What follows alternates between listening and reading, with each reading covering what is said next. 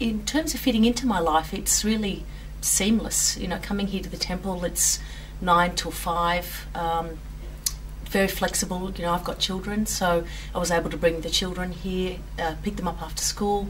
They've sat in the reception room, so the, there's a, a, lovely, warm environment of inclusiveness, of uh, accepting everyone's different situations. So, and then the five-day study block is quite good because uh, you know you can do the five-day block and then go back to whatever else you're doing. So, um, so yeah, it fits into my life because it's very flexible is environment for study.